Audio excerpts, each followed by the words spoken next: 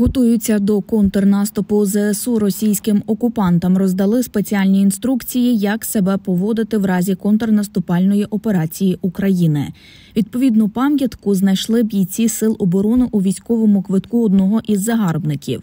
У ній йдеться про те, що контрнаступ незабаром почнеться і, скоріш за все, відбудеться вночі і несподівано. При цьому користь від цієї роздруківки виглядає вельми сумнівною, оскільки більшість рекомендацій настільки очевидні і банальні, що навряд чи комусь можуть дійсно стати у нагоді.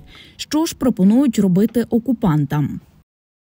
Окопуватися і мінувати приблизні шляхи, звідки противник може вискочити. Не забудьте помітити на карті мінних полів.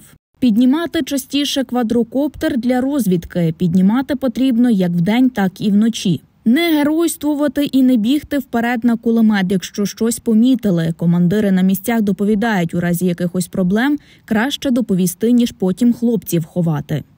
Використовувати прилади спостереження нічного та тепловізійного бачення, бінокль та монокуляр. Перевірити своє екіпірування, переглянути укріп район, якщо є антидронові рушниці, то зарядити і бути у готовності їх застосувати, бо під час наступу ворог підніматиме у повітря свої БПЛА. Бути у здоровому та тверезому розумі, і головне не панікувати. Йдеться у рекомендаціях.